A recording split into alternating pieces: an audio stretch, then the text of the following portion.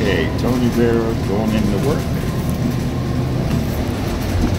My local police scanner.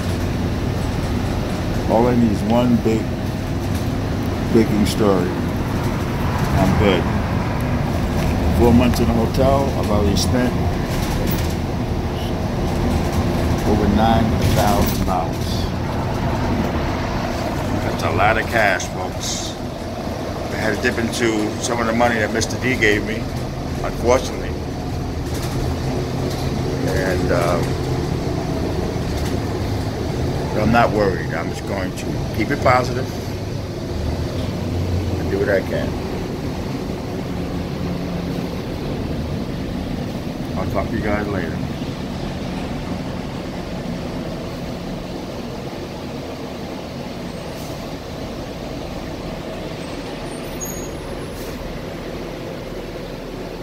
Talk to you later.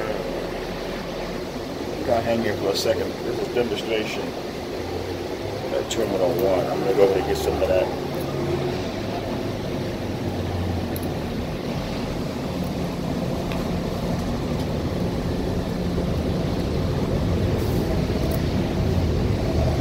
Talk to you guys later.